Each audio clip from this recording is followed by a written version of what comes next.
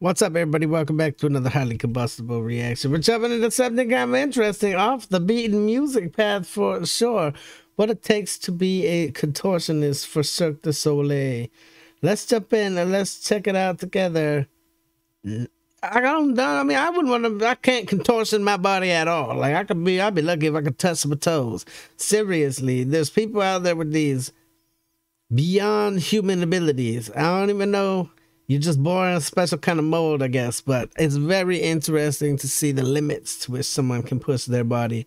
Let's go on a journey. If you enjoy it, make sure that you get over and show Insider all the love of the world. Shout out to Udit for the request. I appreciate it. Let's go.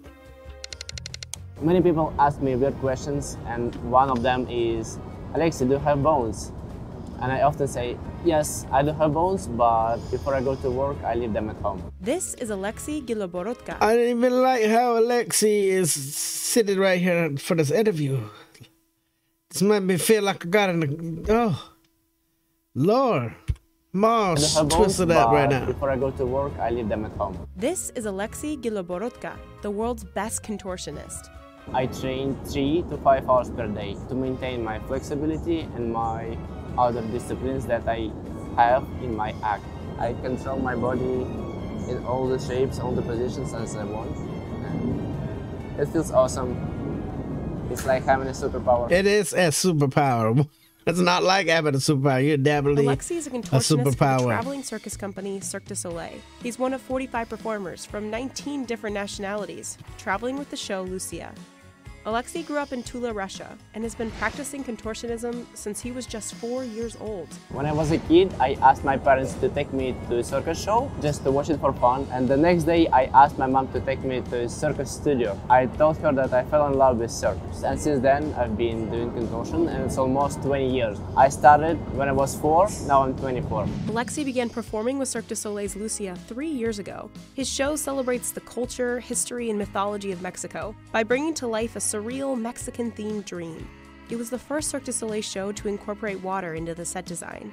And Alexei has been traveling and contorting with Luzia for hundreds of shows across North America, and he quickly gained fame for his mind bending movements. It's huge responsibility to be the best contortionist in the world, to be the most flexible male in the world, because I have many fans, and it's huge responsibility not to drop your level from here to there because if you drop your level you disappoint them and i feel like i don't have rights to disappoint my public i don't have rights to disappoint my people hey, that's a great way to think though he just doesn't want to be disappointing to anybody we caught up with Alexi during his warm up before the premiere of Luzia in New York City. My genre is called dancing contortion. It's a mix of different disciplines. The base is contortion, being bendy and flexible. And other disciplines such as hand balance, elements of rhythm so gymnastics, painful. elements of ballet dance, elements of modern dance are maintained in my acts.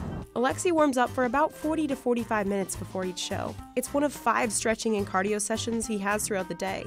He has to keep his body limber and loose, so he doesn't hurt himself. For practice, for training, I'm very aware of each movement I do because when I stretch, I have to keep everything under control not to injure myself. But when I perform, I mostly think about my character in the act. I think about my presence on stage. Not only does Alexi constantly have to strengthen his body, but contortionism also demands a steady mind.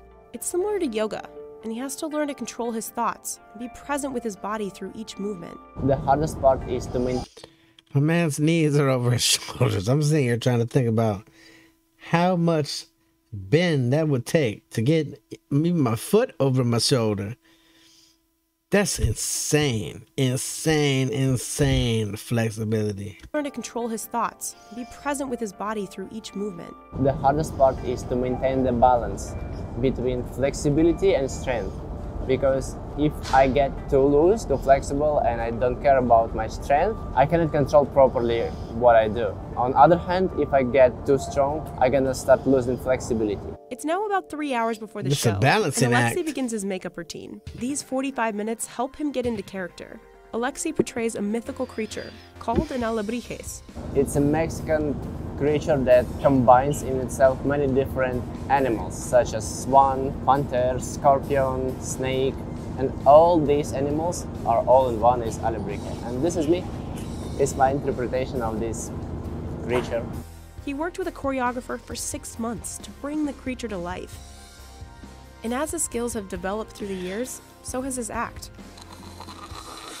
Once makeup's done, Alexi is ready to debut his Alebrijes persona to New York City. But before he comes on in Act 2, other master acrobats take the stage. There was hoop diving on treadmills, adagio acrobatics, Cyr wheel and trapeze, hand balancing, masts and poles, aerial straps, and juggling. And finally, a dark form on a platform is rolled out onto a candlelit stage. The crowd goes dead quiet.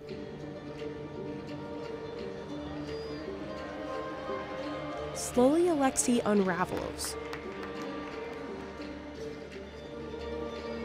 And people shriek. Many different reactions I receive. Sometimes they are just mesmerized and I can see complete silence in the audience. I can hear almost nothing when I perform besides music. It's very impressive. You're just performing in the silence. It's amazing.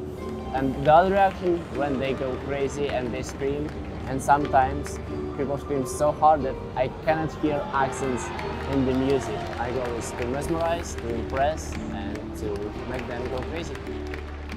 He twists and flips, and you're unsure which body part is which. He fluidly contorts into shape after shape. Jesus Christ.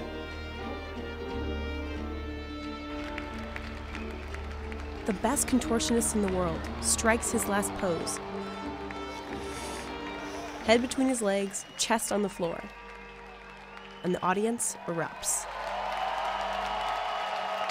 I really love it because I realize how much I can express myself with my body, and I don't need lot more else. than a lot Just of other people out there. Good God. That's seriously inhuman, but I love that he can do it.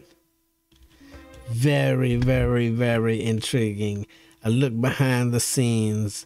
That's something I would definitely want to go see live. For real, for real. I've seen contortionism before, but never to this extent. It's like a human rubber band. Absolutely crazy cool. Get over and show Insider all the love in the world. Smash the like button if you liked it, the dislike button, but I won't believe you. Tell the next one about the combustible. You guys be happy, healthy, safe. Love you to the moon and back.